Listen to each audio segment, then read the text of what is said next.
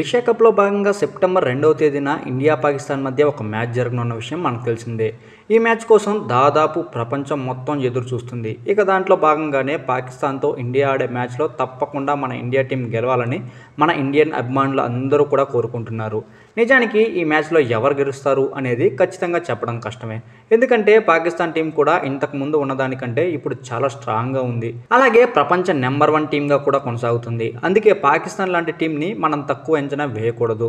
ఇక ఇలాంటి టైంలో మన టీంలో ఎవరు బాగా ఆడుతున్నారు ఎవరిని ప్లేయింగ్ లెవెన్లోకి తీసుకుంటే బాగుంటుంది అనే విషయాలను మనం ఒక్కసారి తెలుసుకుందాం. మన వీడియోస్ చూసే చాలా మంది ఫ్రెండ్స్ సబ్స్క్రైబ్ చేసుకోకుండానే వీడియోస్ని చూస్తున్నారు. మేము వీడియోస్ని చాలా కష్టపడి చేసాం మేము ఇంత కష్టపడి వీడియోస్ చేస్తున్నందుకు సబ్స్క్రైబ్ చేసుకుంటే మమ్మల్ని ఎంకరేజ్ చేసిన వారు అవుతారు మేము ఇంకా మంచి మంచి వీడియోస్ చేసి మీకు ఇవ్వడానికి ఎంకరేజింగ్గా ఉంటుంది. ప్లీజ్ సబ్స్క్రైబ్ చేసుకోండి ఫ్రెండ్స్ ఇక వీడియోలోకి వచ్చేస్తే ఓపెనర్లుగా రోహిత్ శర్మ శుభ్మాన్ గిల్ లాంటి ప్లేయర్లు ఉన్నారు. మెయిన్గా మన వాళ్ళు వాళ్ళ బౌలింగ్ని ఎలా ఎదుర్కొంటారు అనేది ఇక్కడ చాలా కీలకంగా మారనుంది. అందుకే ఇలాంటి టైంలోనే ఇండియా టీంలో ఉన్న ఈ ఓపెనర్ ప్లేయర్ల మీదనే మన మ్యాచ్ గెలుపు అనేది చాలా వరకు ఆధారపడి ఉంది.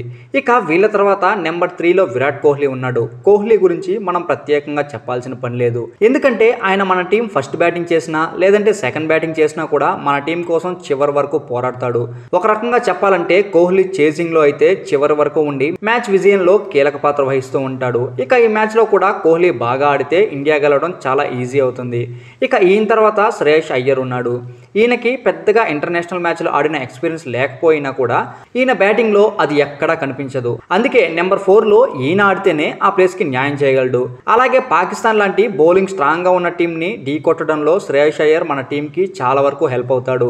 ఆయన గాయం నుంచి కోలుకుని ఇండియా టీంలోకి రావాలని చాలా మంది కోరుకున్నారు. చాలా రోజుల తర్వాత టీంలోకి వచ్చిన ఈయన మీదనే అందరి ఆశలు ఉన్నాయి. చూడాలి మరి గాయం నుంచి కోలుకున్నాక ఏషియన్ కప్లో ఆడుతున్న శ్రేయస్ అయ్యర్ ఏ మేరకు మ్యాజిక్ చేస్తాడో ఇక వీళ్ళ తర్వాత నెంబర్ ఫైవ్లో కేఎల్ రాహుల్ ఉన్నాడు. ఈయన నెంబర్ ఫైవ్లో సరిగ్గా సరిపోతాడు. మ్యాచ్ పొజిషన్ బట్టి ఫాస్ట్గా ఆడాలా లేదా స్లోగా ఆడాలా అనేది మ్యాచ్ పొజిషన్ చూసి ఎలా ఆడాలి అనేది ఆయన చూసుకుంటూ చాలా జాగ్రత్తగా ఆడతాడు. అందుకే టీమిండియాలో రాహుల్ ప్లేస్కి చాలా వాల్యూ ఉంది. ఇక నెంబర్ సిక్స్లో హార్దిక్ పాండ్యా ఉన్నాడు. తన బ్యాట్తో చివరిలో పరుగులో వరద పారించగల ఆటగాడు. అందుకే ఆయన టీంలో ఉండడం టీంకి చాలా వరకు హెల్ప్ అవుతుందనే చెప్పాలి. ఇక బౌలింగ్లో కూడా తన వంతు తాను ప్రయత్నం చేస్తాడు. ఇక నెంబర్ సెవెన్లో రవీంద్ర జడేజా ఉన్నాడు. జడేజా అటు బ్యాటింగ్ లోను ఇటు బౌలింగ్ లోను అద్భుతంగా ఆడుతూ టీం విజయంలో కీలక పాత్ర పోషిస్తాడు. ప్రస్తుతం ప్రపంచంలోనే నెంబర్ వన్ ఆల్రౌండర్గా కూడా కొనసాగుతున్నాడు. ఇక నెంబర్ ఎయిట్లో అక్షర్ పటేల్ ఉన్నాడు. అలాగే ఎక్కువ వికెట్లు తీయడంలో గానీ బ్యాట్స్మెన్స్ని తన బౌల్తో ఇబ్బంది పెట్టడంలో గానీ ఈయన ముందు వరుసలో ఉంటాడు.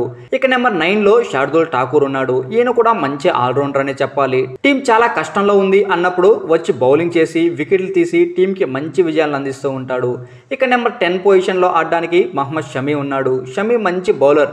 తన ఫేస్ బౌలింగ్తో ప్రత్యర్థులకు చెమటలు పట్టిస్తాడు. ఇక నెంబర్ లెవెన్లో జస్ప్రీత్ బుమ్రా ఉన్నాడు. ఈయన చాలా కాలం తర్వాత ఇండియా టీమ్లోకి వచ్చాడు. ఇంతకు ముందు ఆడిన ఐర్లాండ్ సిరీస్లో కెప్టెన్గా కూడా చేశాడు. అయితే ఐర్లాండ్ మీద జరిగిన మ్యాచ్ల్లో మంచి కెప్టెన్ గానే కాకుండా మంచి బౌలర్గా కూడా నిరూపించుకున్నాడు. ఇక పాకిస్తాన్ బ్యాట్స్మెన్స్ని ఎక్కువ స్కోర్ చేయకుండా కట్టడి చేయడంలో బుమ్రా కీలక పాత్ర వహిస్తాడనే చెప్పాలి. ఇక ఈ వీడియోలో మేము చెప్పిన ప్లేయింగ్ లెవెన్ కాకుండా ఇంకా ఎవరు ఉంటే బాగుంటుంది అని మీరు అనుకుంటున్నారో వాళ్ళ పేర్లను కింద కామెంట్స్ రూపంలో తెలియజేయండి. ఇక ఈ వీడియో కనుక మీకు నచ్చినట్టయితే లైక్ చేయండి షేర్ చేయండి అలానే మన ఛానల్ని సబ్స్క్రైబ్ చేసుకోవడం మాత్రం అస్సలు మర్చిపోకండి. Thank you.